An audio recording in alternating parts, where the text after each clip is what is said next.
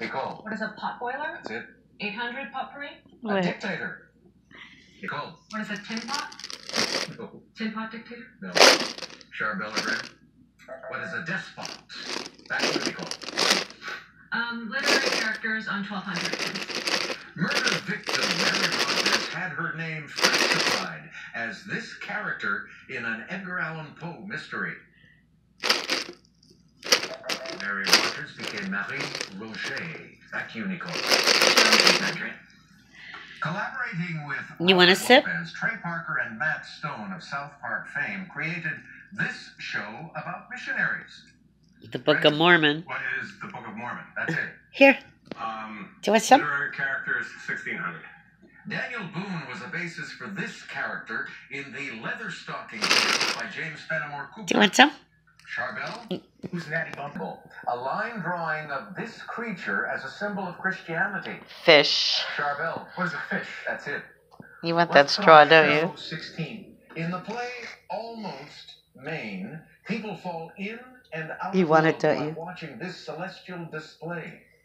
Graham, is it meteor shower? No. A comet. What is a lunar eclipse? No. Uh. what are the northern lights? Back you, Charbel. Hi, Booty. Hi, Booty. Where you going, Lux? Oh, he wants that straw to very bad. You want that straw, don't you? And it affects Nicole. Our judges You want that straw, huh? the Christmas spirit, and they have decided to accept your response a few moments ago of tin pot for dictator. So you pick up sixteen. You really want that straw, huh? Scores are now correct, Charbel. Am I? Show 400.